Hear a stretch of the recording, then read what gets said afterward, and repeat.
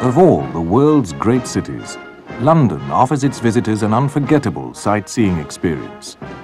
From the pomp and circumstance of its colourful traditions to the grandeur of its historic monuments and the bold imagination of its modern designs. From its bustling streets to the peace and tranquility of its leafy parks and gardens, London is a city of surprising contrasts. Visiting London's famous landmarks and exploring the city will be the highlight of your stay.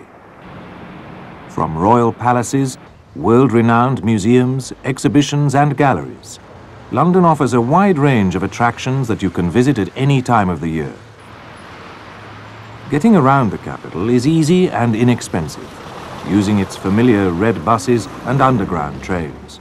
But many places of interest in central London can be quickly reached on foot with the help of a street map.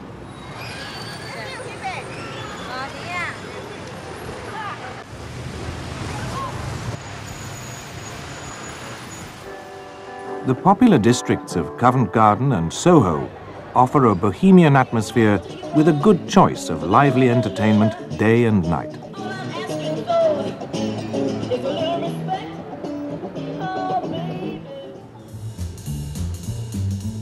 Fashionable districts such as Mayfair, Knightsbridge and Chelsea continue to be some of London's smartest, where you can shop in exclusive stores.